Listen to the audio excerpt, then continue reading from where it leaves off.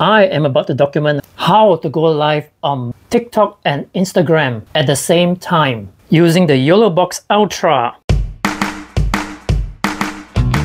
First, I will turn on the YOLO Box Ultra by pressing the power button located on the bottom right. From the main menu, I will select vertical streaming, then physically rotate the Ultra vertical. Next, I will make sure that the Ethernet cable is connected so that I get solid internet connection. Currently, I have a few sources connected. But for today's session, I'll be using a mirrorless camera connected to HDMI input number 1 for my headshot, a webcam connected to USB input number 1 for the overhead shot, and a wireless mic for my voice connected to the mic input. I will then go into the audio panel to select the mic as the audio source.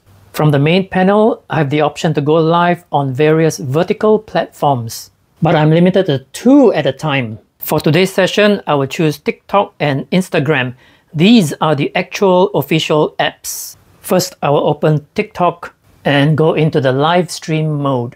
Next, I will go into the two apps streaming panel and tap on open another app.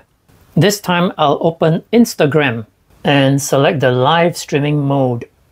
Now, both platforms are ready to stream simultaneously.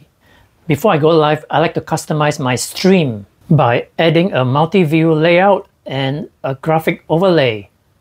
Tap on Add Video Source to choose a multi-view layout. My favorite is Picture-in-Picture, where I can show two angles like my face and the overhead shot at the same time. I can change the size of my face and move it anywhere I want.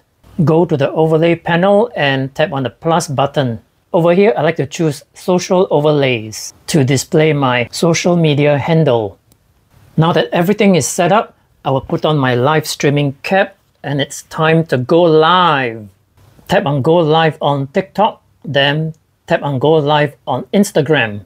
During the stream, I can read the chats from both audiences in real time all from one screen. And that's how I go live on both TikTok and Instagram at the same time using YOLOBox Ultra. If you want to find out more, feel free to leave questions and comments below. Don't forget to like and share this video. If you haven't done so, subscribe. This is Adrian Lee from videolane.com. I'll see you in the next one.